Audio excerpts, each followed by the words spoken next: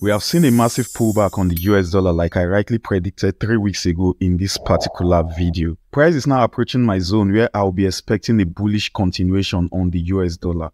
However, next week is packed with fundamentals, especially the CPI, which will either boost the strength of the US dollar or condemn it to the sword. But the good news is whether prices go up or down, we still make money as long as we align ourselves with the direction of the market. And in this week's video, I'll be showing you exactly how to do that, starting with the dollar index as usual.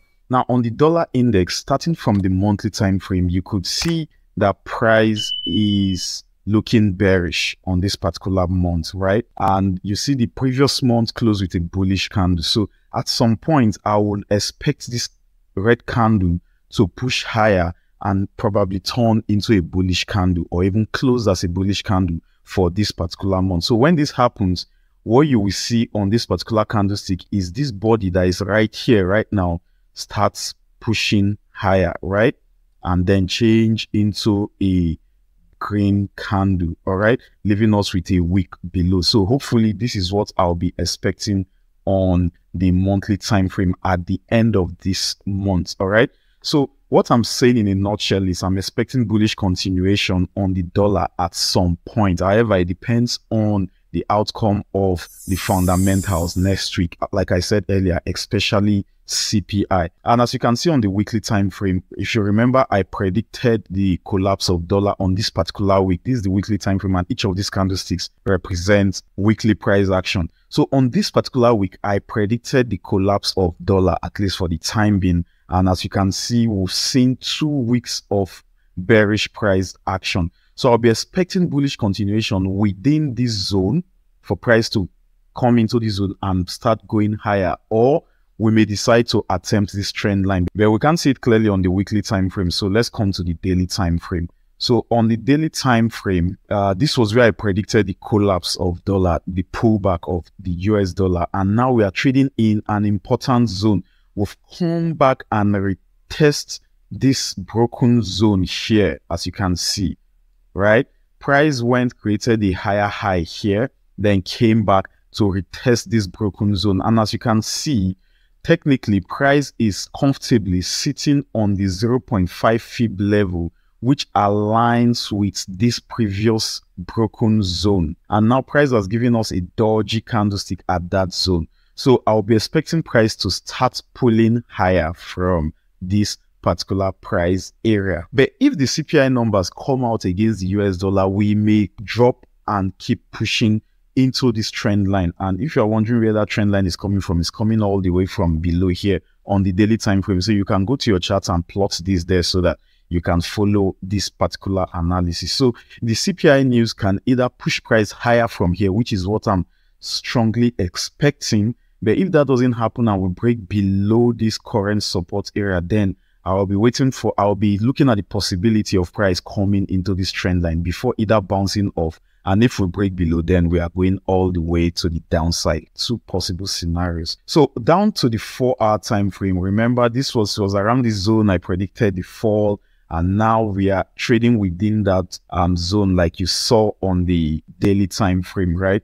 And like we already know price is sitting on the daily 0.5 fibonacci level all right? So if price breaks below this four hour zone then i'll be expecting price to drop down into this zone all right, which is 12788. Mind you, I'm using the Dow Jones dollar index, so you take note of that, all right? But I'm most likely expecting price to start bouncing off from this particular zone, all right, for next week. So these are the two possible scenarios I'm seeing on the US dollar come next week. Since we've seen what is happening on the dollar index, let's start looking at some of the dollar pairs, starting with the um, GBP USD. GBP USD, just like the dollar index, closed last month with a bearish candle. At some point, we are expecting a bearish continuation. But if that doesn't happen, let's go to the weekly time frame so that we'll look at two possibility. Remember, the dollar index is sitting on a very important zone. So is the GBP USD. GBP USD is also at an important zone. If you are wondering what that important zone is,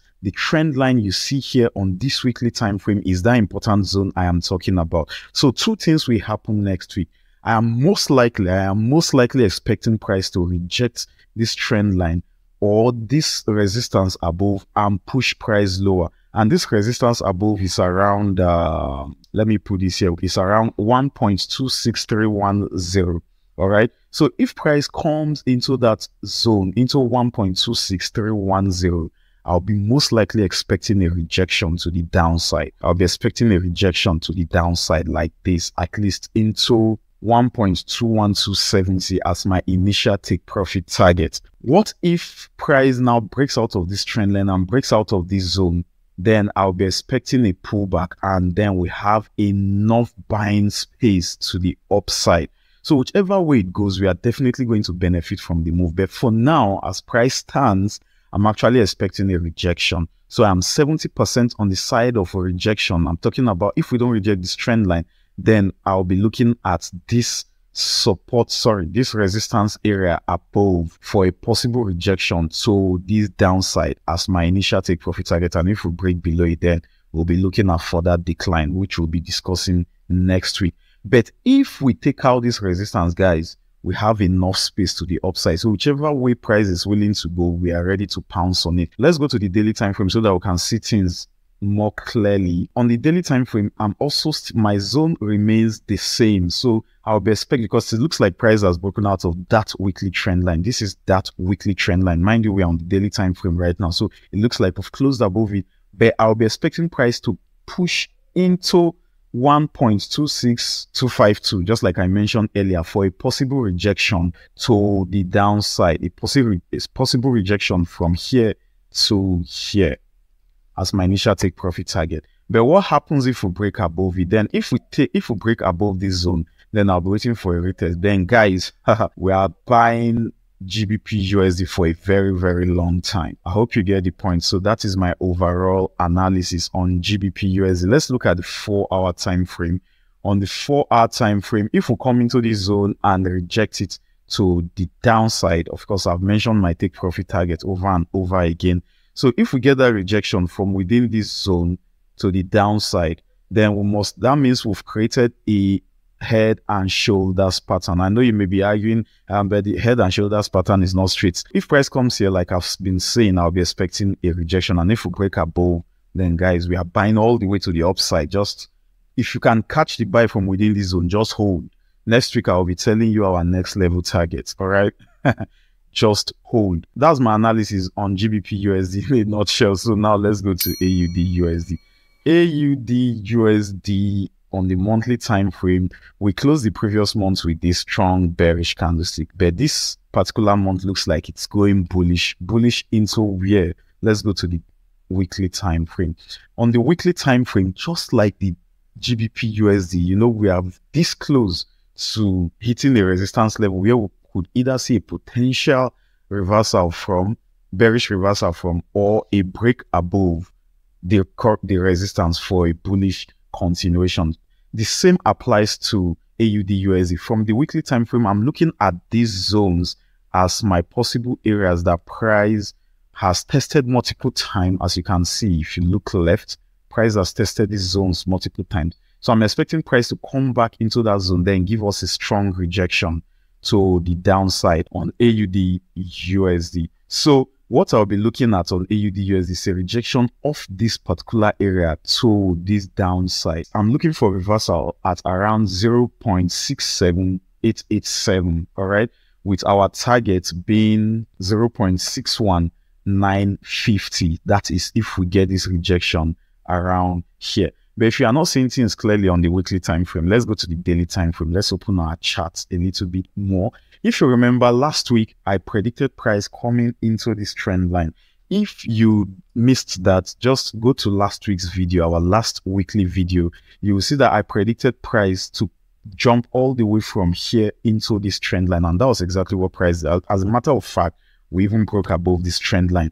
But like I've like I mentioned on the weekly time frame, I'm expecting a rejection at this zone for price to now push lower to 0.61950. So why am I looking at this zone for possible reversal area like I mapped out on the weekly time frame? It is simple. If you look left, price has used this zone as areas of value previously price has used these zones as area of value. And if I even zoom in most recently, price has used this zone as areas of value previously. So when price comes back into this level, I'll be expecting a strong rejection to this price area. Look, if you look right, you can see the price area here. And this is where I'm expecting that rejection from. So let's go to the four hour time frame. So on the forward time frame, it remains the same. I'm expecting that pullback from here. So we still have buying space to the upside before the drop. Let's look at one hour. How can we take advantage of this push to the upside? Because as it stands, we still have about uh, 46 pip move to the upside. So hopefully we get it next week. But let's go to the 15 minutes time frame. So this is how we are going to catch it. If price pulls back into this area for the early part of next week, then I'll be expecting a bullish continuation until we come into this price area. Just look right, you will see the price value there. And what if price doesn't give a pullback into the zone before we rally to the upside? Then I'm just going to draw a zone here on the 15 minutes time frame with the hopes that when price come and break above it, I'll be expecting a pullback. Then I'll be buying into that same price level. So this is how we can take advantage of the buy. Then when we get to that zone, we start looking for selling opportunities from that zone. I'll definitely leave the updates on the Telegram channel as usual. So that is AUD USD in a nutshell. Now let's go to JPY index. So on the JPY index, if you know, I've been calling JPY index short for a long time until we come into this zone here, I remain short on JPY index. So if JPY index is going downward, what happens to JPY pairs? That means the other pairs paired with the JPY will be super bullish, right? So which in the which means GBP JPY will be bullish, USD JPY will be overall bullish. That is if the dollar index cooperates with it. CAD JPY will be bullish, AUD JPY will be bullish, all right? And if JPY index is trending upward, what happens on the JPY pairs? Which means JPY is going to dominate the other pairs, all right? So in this case, we are still bearish on JPY pairs, which means we'll see strong GBP JPY, we'll see strong AUD JPY, we'll see a strong CAD JPY, and so on and so forth, right? So for next week, I'll still be expecting price to keep dropping until we come into this zone, just like I've been saying in all my previous videos, right? And on the daily time frame, also, I remembered last week, if you missed the video, go and watch last week's video. Price was around here on Friday for last week and I predicted that price would keep dropping to the downside. However, it didn't give me that significant push that I wanted, but it still closed bearish right? As you can see, we look like we looks like we've created a new lower low, breaking below this low here. So let's go to the four hour time frame. On the four hour time frame, it is obvious price is creating lower highs, lower highs, lower highs, lower highs, and also creating lower lows, lower lows, lower lows, lower low. So what should we be expecting next week? We should be expecting continuous push to the downside. So I don't trade the JPY pair, so I won't spend my time analyzing and reanalyzing the JPY pairs. I just want to show you the overall trend of the market. So now that we've seen what is happening on the JPY pairs,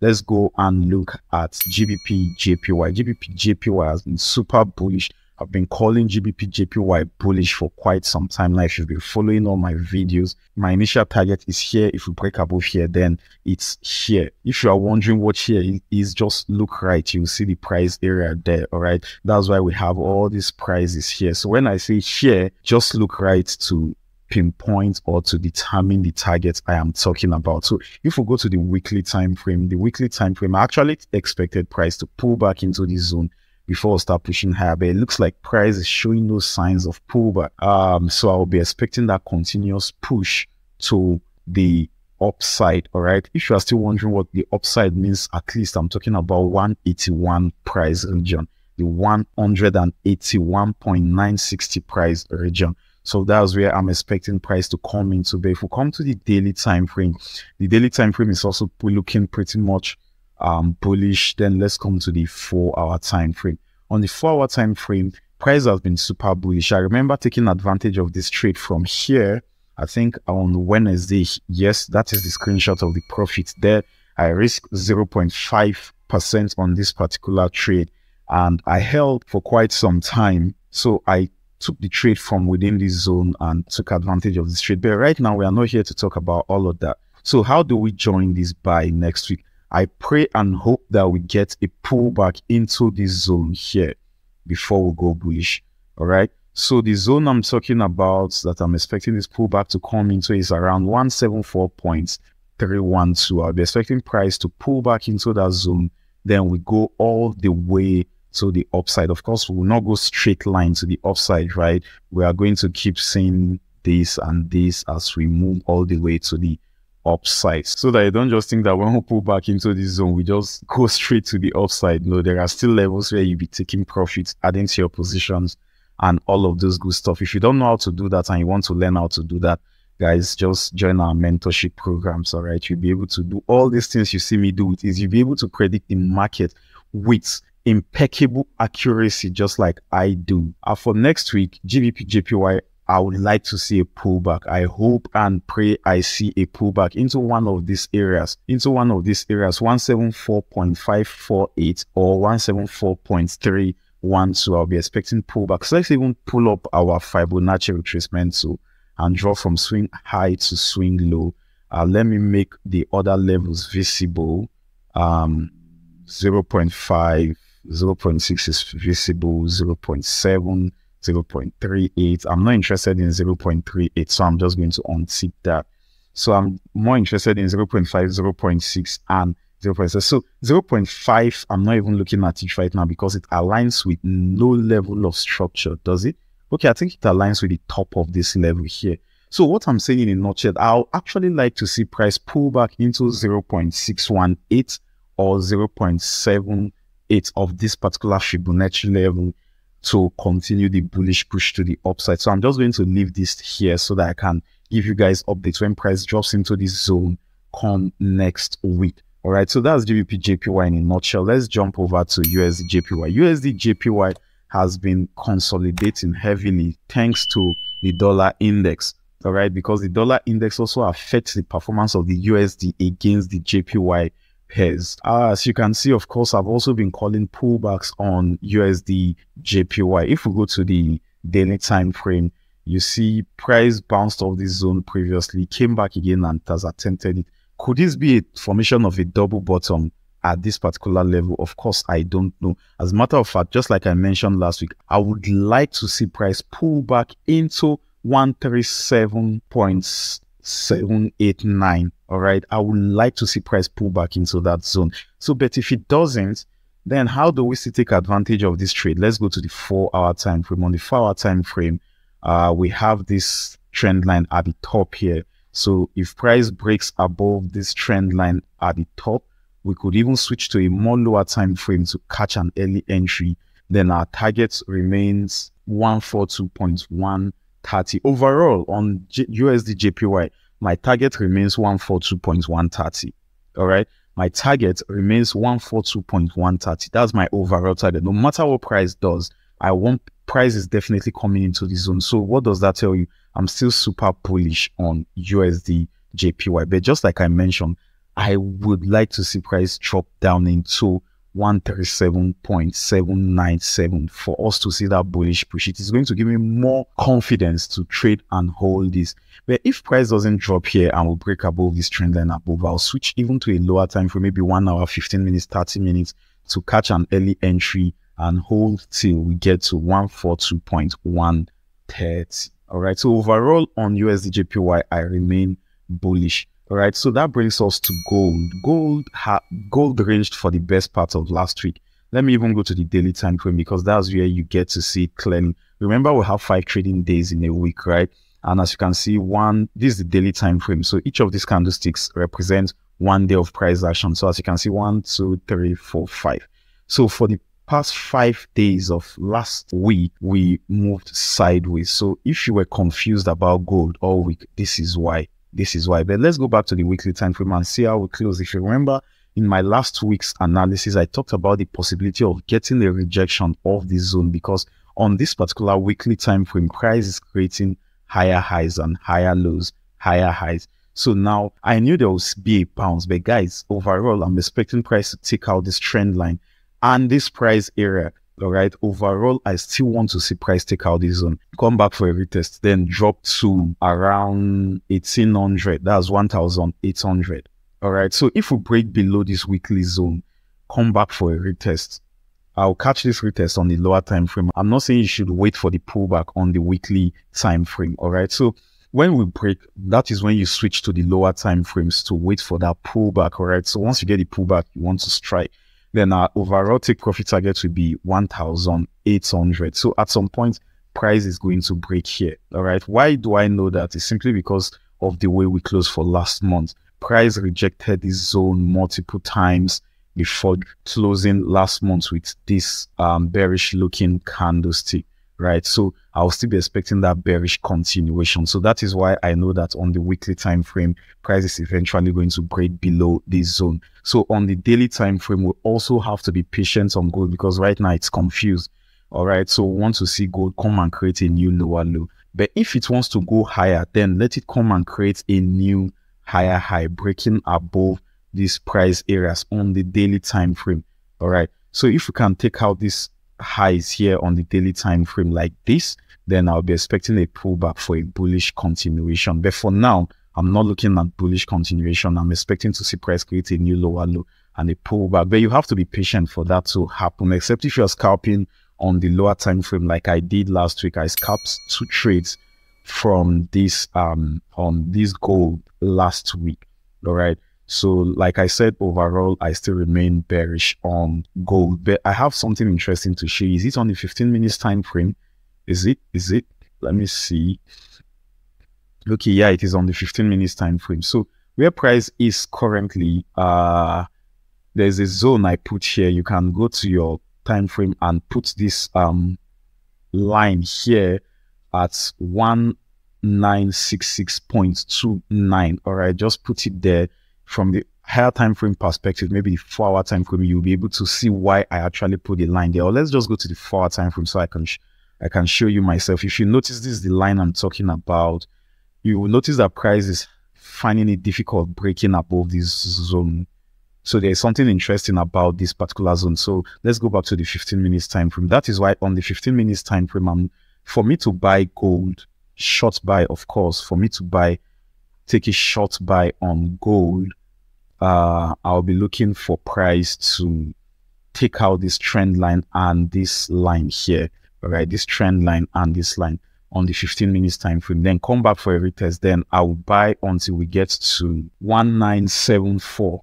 That will be my take profit if I go bullish because the bullish is going to be a scalp trade. All right. Even anything bearish right now should also be a scalp trade. So for me to sell also, we need to break below 1954.38. All right. We need to break below it, then go back there for a retest. Then I'll sell into 1940. All right. So both as scalps, both buy and sell as scalps. But within this zone, I'm going to do nothing. Between these zones, I'm going to do nothing. So we have to take out this trend line and this line here for us to go bullish.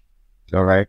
And I have to take out this price area here for us to go bearish. So feel free plot this chart on your chart and follow my price analysis. And if you don't know how to do this and you want to also learn how to do this, don't forget, join our mentorship programs and you will be able to analyze with ease. And you know you generate trading signals based on how well you can analyze the market. So if you don't know how to analyze the market properly, then you will just be guessing. That's just the truth. You will just be a guesser in the market. And when you guess, when you really don't know what price is doing, then you know you are going to be a losing trader for a fact. So do yourself a favor, grab our program. The link is in the description of, of this video down below and right in front of you as you can see it on your screen right now. So that is gold in a nutshell. The other pairs I failed to analyze on this video, I'm going to be dropping them on the Telegram channel. The link to joining the Telegram channel is also in the description of this particular video down below. Take your trading to the next level with our mentorship programs. Visit www.letstrade10x.com for more info.